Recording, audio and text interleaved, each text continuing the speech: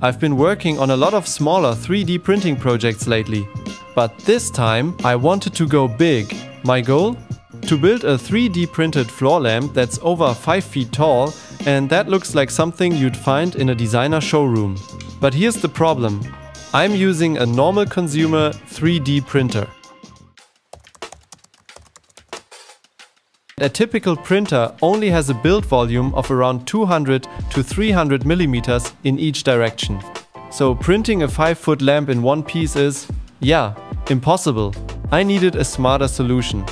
Instead of printing everything, I decided to only print the parts where 3D printing actually makes sense and buy the pieces that are cheaper, stronger and faster to source. The result? A lamp that looks premium but costs a fraction of what you'd expect.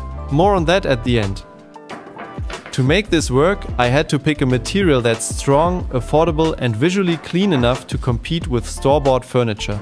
I tested a few options and finally settled on 0.8 inch beechwood dowels. They're incredibly sturdy, look beautiful and combined with 3D printed parts, they create this warm, cozy Scandinavian vibe that I absolutely love. But how do you turn thin, wooden dowels into a structure strong enough to support a 5 foot floor lamp? The answer is a tripod. A tripod is naturally stable. It distributes weight evenly and it's perfect for something this tall. So that became the foundation of my design. Okay, now it's time to combine wood with 3D printing and finally reach those 5 feet. The first thing I focused on was the lampshade, because in any floor lamp that's the centerpiece. I went with a Japanese Scandinavian inspired design and used that ribbed 3D printed texture I often use. It makes the shade strong, lightweight and easy to print. I designed two versions, one with a 9.4 inch diameter and one with an 11.4 inch diameter. The smaller one fits on almost any printer, while the bigger one needs a slightly larger machine like my V400. But how do we connect everything? This is where 3D printing really shines. Within minutes, I designed custom connectors that lock all three wooden legs together and create a clean, hidden mount for the lampshade.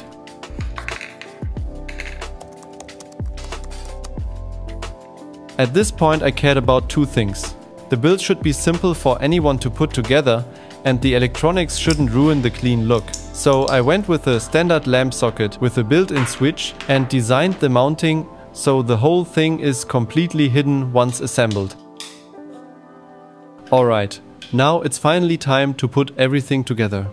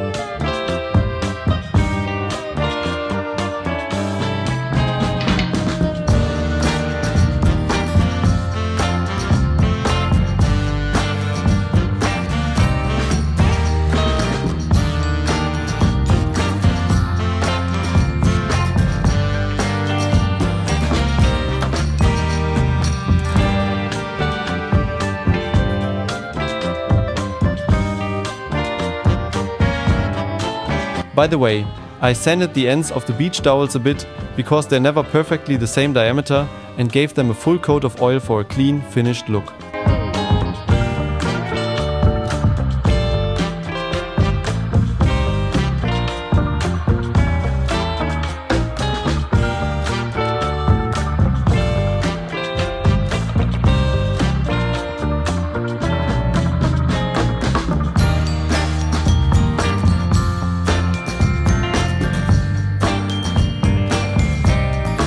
If you want to build this lamp yourself, you can find all print files, a step-by-step -step guide and a parts list on my Ko-fi page.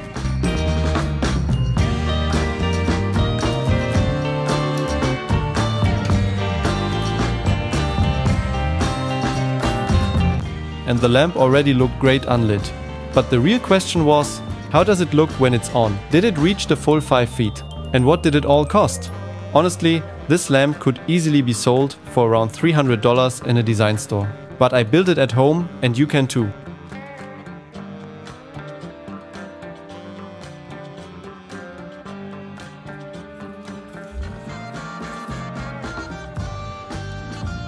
Yes, the lamp reached 5 feet.